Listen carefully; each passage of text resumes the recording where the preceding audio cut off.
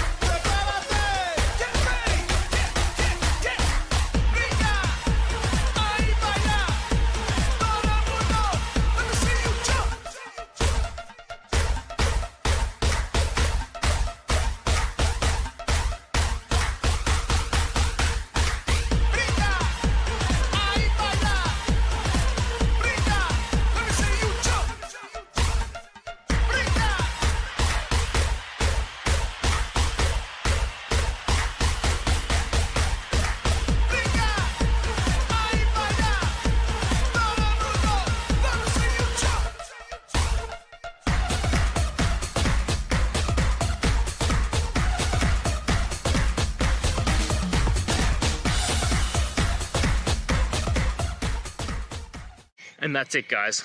I hope that video helped find the resolution you're looking for. If it did, please, I'd appreciate it if you could hit subscribe. Until the next time you need more technical help, I hope you have a good one. Cheers.